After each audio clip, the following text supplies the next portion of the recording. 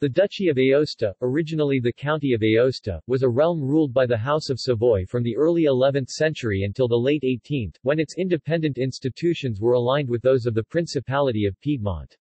The title, Duke of Aosta, continued to be used by the second sons of the Savoyard monarch. The land of the duchy is today a part of Italy. The county of Aosta was originally ruled by the bishops of Aosta in the 10th and early 11th centuries. Upon the death of Bishop Anselm in 1026, however, Conrad the Salic ensured that the secular powers of the important Alpine territory passed to the bishop's brother-in-law, his ally Humbert the White-Handed, rather than remaining tied to the diocese, which fell to Anselm's unfriendly nephew Burchard. Humbert's son Odo then wed Adelaide, securing the March of Turin. The county was elevated to a duchy by Frederick Barbarossa. Duke Emmanuel Philibert made French the official language of the duchy in 1561, but it retained its own traditional institutions as late as 1766.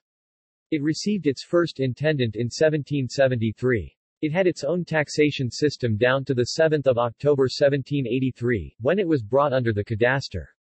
According to Jean-Baptiste de Tillier, died 1744, the Duchy of Aosta has always been a state, forming a single undivided body. The 78 church towers, or rather the cities, towns, parishes and separate communities which exist in the valley, are members of this state. See also Diocese of Aosta Aosta Valley References Sources Farrell-Vinay, Giovanna 2005, Welfare Provision in Piedmont, Health Care and Poor Relief in 18th and 19th Century Southern Europe, Burlington, Ashgate, pp. 250-88. Kain, Roger J. P., et al., 1992, The Cadastral Map in the Service of the State, A History of Property Mapping, Chicago, University of Chicago Press.